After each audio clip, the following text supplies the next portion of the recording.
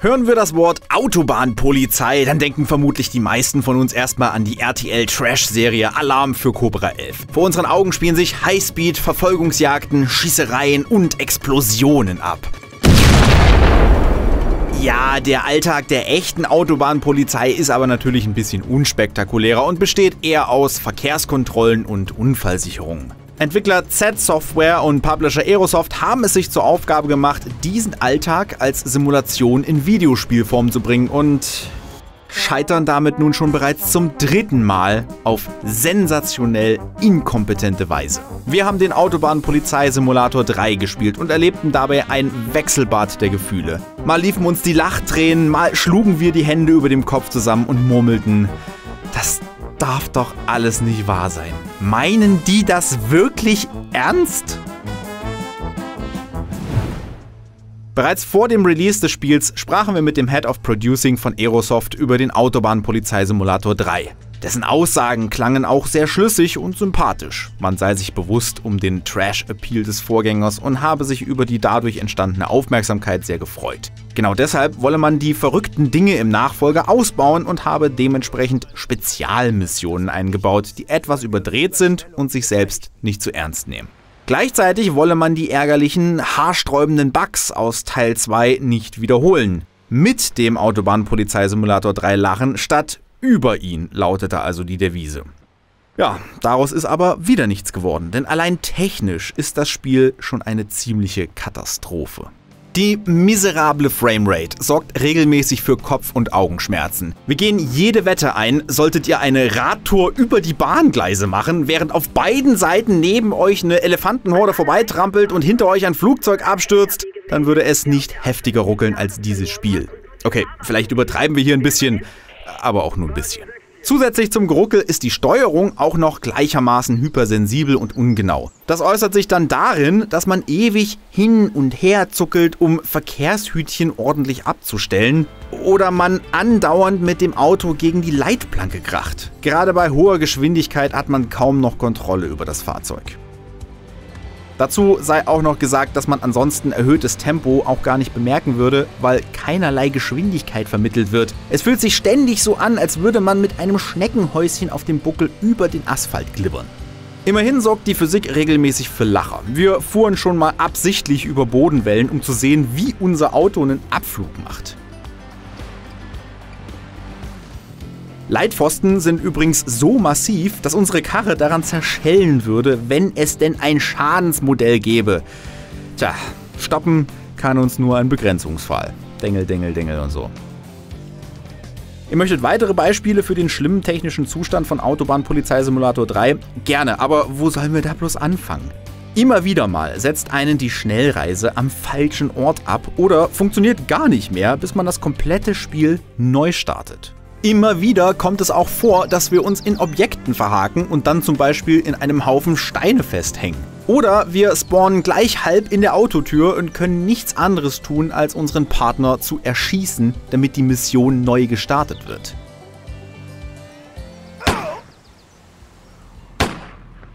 Apropos Schießen, die Schusswechsel spielen sich ohnehin so angenehm wie ein Schlaganfall. Manchmal funktionieren sie aber auch einfach gar nicht. Wir können schießen, so viel wir wollen, aber unsere Kugeln treffen den Gegner nicht. Wenn sie ihn dann mal treffen, sieht es dafür urkomisch aus. Theoretisch müssten wir aber auch gar nicht schießen, denn angeblich kann man viele Gegner auch schleichend ausschalten. Das Problem, es geht nicht. Obwohl die KI beschmierter ist als ein Raststättenklo und nicht mal mitbekommt, wenn ihre Verbrecherkumpel direkt daneben abgeknallt werden, sieht sie uns beim Schleichen offenbar mit ihren geheimen Hinterkopfaugen. Jedes verdammte Mal. Immerhin sind die ungelenken Animationen unseres Polizisten so wunderbar lächerlich, dass wir während des Tests einige Lachtränen vergossen haben. Und das war's immer noch nicht mit den Bugs und technischen Unzulänglichkeiten. Manchmal fällt mitten in den ohnehin ziemlich miesen Dialogen plötzlich die Tonspur aus. Dadurch werden dann eben auch keine neuen Zeilen getriggert und die Gesprächsteilnehmer stehen mit verzerrten Gesichtern in der Gegend rum. Besonders schön ist auch der Tag-Nacht-Wechsel, der ungefähr so gut erkennbar ist wie ein Gameboy-Bildschirm bei Dunkelheit oder Dämmerung oder zu starkem Sonnenlicht. Ihr versteht schon. In unserem Spielstand war es einfach fast die ganze Zeit 12 Uhr mittags bei strahlendem Sonnenschein. Lediglich in einer einzigen Mission schaltete das Spiel in den Nachtmodus. Bei einem anderen Auftrag, der ebenfalls bei Nacht spielte und in dem wir Fotos von Rasern schießen sollten, blieb es aber hell. Da war es dann natürlich besonders witzig, dass wir offensichtlich bei Tag unterwegs waren, die von uns geschossenen Fotos jedoch die Autobahn bei Nacht zeigten. Was haben wir denn hier? Sehr gut. Ich hatte genau dieselben im Blick. Weitaus weniger lustig sind die verbuggten Unfallmissionen. Eigentlich sollte es bei den Verhören der Unfallbeteiligten neue Dialogoptionen geben, wenn man verschiedene Hinweise auf der Fahrbahn findet. Die werden aber nur in den allerseltensten Fällen auch getriggert. So ist es natürlich nicht möglich, ein Geständnis zu bekommen und den Fall komplett abzuschließen. Doch selbst wenn man ein Geständnis erhält, heißt das noch gar nichts. Gerade noch erzählt uns irgendeine Flitzpiepe, dass sie am Steuer mit dem Handy gespielt und somit den Unfall verursacht hat. Haben Sie es während der Fahrt benutzt? Vielleicht. Da sagt unser Polizist zu seinem Kollegen, dass er sich nicht erklären könne, wem das gefundene Handy gehöre und somit für den Crash verantwortlich sei. Ich habe ein Handy gefunden. Ich weiß nur nicht, wem es gehört. Es könnte also sein, dass während des Unfalls damit telefoniert worden ist. Aber sicher bin ich mir nicht. Glücklicherweise kann man die Mission trotzdem abschließen, erhält aber eben weniger XP. Mehr habe ich leider nicht. Okay. Naja, die Kollegen machen das dann schon. Frau Metzger? Zur Grafik brauchen wir wahrscheinlich nicht viel sagen. Ihr habt schließlich auch Augen im Kopf, die gerade vermutlich versuchen, aus ihren Höhlen zu flüchten. Klar, das Team von Autobahn Polizei Simulator 3 verfügt sicherlich nicht über das Budget von AAA-Produktionen, aber deshalb muss der Titel ja nicht gleich aussehen wie ein sehr unansehnliches PS3-Spiel und dabei noch ruckeln. Und das auf der PS5, wohlgemerkt. Das muss einfach besser gehen und darf so nicht veröffentlicht werden. Nachdem wir jetzt sämtliche Hoffnungen von euch kleinen Aushilfs-Autobahnpolizisten zerstört haben, kommen wir doch mal zu solch unwichtigen Punkten wie Story und Gameplay. Unwichtig deshalb, weil diese Aspekte offenbar nicht sonderlich weit oben auf der To-Do-Liste der Entwickler standen. Falls überhaupt etwas auf der Liste stand. Wir beginnen als junger Polizist oder junge Polizistin und gestalten den Charakter in einem rudimentären Editor, zumindest halbwegs nach unseren Wünschen. Dann geht's auch schon los, denn wir werden von den Kollegen begrüßt und erfahren, dass wir offenbar längere Zeit im Krankenhaus waren, weil uns eine Raser-Gang in einen Unfall verwickelt hatte. Unser Cop möchte natürlich Jagd auf die Raser machen, aber unser Chef und unser Partner mit Stock im Arsch finden das gar nicht so dufte. Schließlich ist unser Rang noch viel zu niedrig. Und wie erhöht man den Rang? Natürlich, indem man Aufgaben abschließt. Da muss ich dem Chef zustimmen. Das ist ein ganzer Ring von Verbrechern. Bei deinem jetzigen Rang hättest du keine Chance. Selbst wenn heute nicht dein erster Tag wäre. Für einen Rangaufstieg müssen wir jeweils drei Aufgaben erfüllen, die ungefähr so aufregend sind wie ein Shuffleboard-Turnier im Haus Abendfrieden. Neben normalen Aufträgen wie Verkehrskontrollen oder den ruckeligsten Verfolgungsjagden der Videospielgeschichte erwarten uns auch spannungsgeladene Aufgaben wie Teste zwei Notrufsäulen. Hier ist Wagen 1. Die Notrufsäule direkt vorm Parkplatz Volktal funktioniert offenbar. Das will ich doch meinen. Äh, sammle ein Warndreieck. Das hat wohl jemand vergessen. Kaufe einen Donut. Ein Donut würde mir reichen. Kommt sofort! Dankeschön. Bis zum nächsten Mal. Oder schieße ein Foto von einer Sehenswürdigkeit. Mal ganz davon abgesehen, dass die Sehenswürdigkeiten wie verrottender Kompost aussehen, ist das natürlich reichlich öde. Dazu kommt dann auch noch, dass manche Aufträge auch einfach durch Bugs nicht abgeschlossen werden können. So spawnt beispielsweise das Auto nicht, das wir verfolgen sollen. Notrufsäulen lassen sich nicht benutzen oder es geht einfach kein Funkspruch ein, auf den wir reagieren sollen.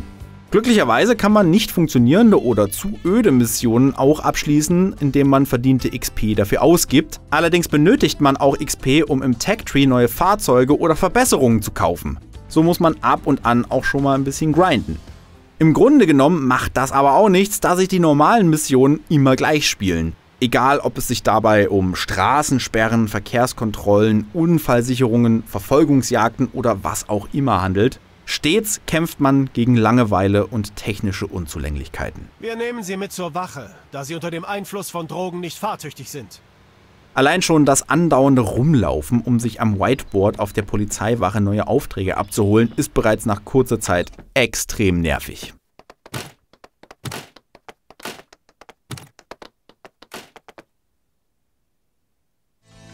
Ist der Autobahn-Polizeisimulator 3 also ein hoffnungsloser Fall, bei dem überhaupt gar nichts stimmt? Ja, schon irgendwie. Wir raten jedem vom jetzigen Kauf ab. Solltet ihr aber Hardcore-Trash-Fans sein, könntet ihr vielleicht später mal in einem Sale zuschlagen und dann für einen schmalen Taler durchaus Spaß mit den teils unfassbaren Bugs den Cringe-Dialogen und der im Spiel herrlich doof vorgetragenen deutschen Spießigkeit haben.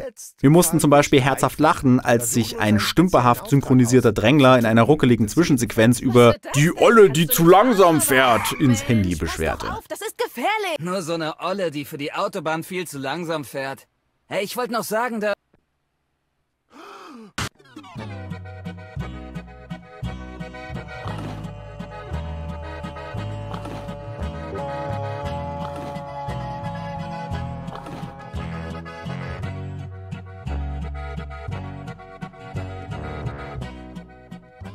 Außerdem sind die großen Spezialmissionen, von denen man eine alle fünf Rangaufstiege freischaltet, ganz nett. Hier beweisen die Entwickler durchaus schon mal Humor und es passiert auch ganz einfach mal was. Klar, auch hier zicken Technik und Gameplay, aber es gibt wenigstens ein bisschen Abwechslung. Und glaubt uns, wenn ihr bereits stundenlang Dokumente geprüft und Reifenprofile gecheckt habt, seid ihr für so ziemlich alles dankbar, das ein bisschen anders ist.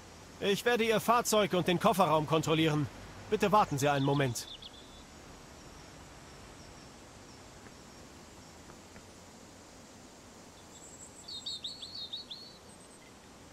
Ansonsten ist der Autobahn-Polizeisimulator 3 aber wirklich eine Zumutung. In diesem technischen Zustand hätte er nicht veröffentlicht werden dürfen. Und auch in Sachen Game Design hinkt er anderen Spielen nicht nur Jahre, sondern eher Jahrzehnte hinterher. Gnadenpunkte gibt es nur dafür, dass uns das Spiel mehrmals zum Lachen brachte. Das geschah zwar meistens unfreiwillig, aber da wollen wir mal nicht so kleinlich sein. Das überlassen wir lieber den Polizisten im Spiel. Dann sind wir hier fertig. Die Kollegen machen den Rest. Gute Arbeit, Partner. Welcher stinklangweilige Beruf sollte eurer Meinung nach mal als trashiger Simulator verwurstet werden? Schreibt's uns doch gerne mal in die Kommentare. Und noch ein Tipp, auf pcgames.de findet ihr neben dem schrottigen Autobahn-Polizeisimulator 3 auch noch Tests, Previews und Specials zu guten Spielen.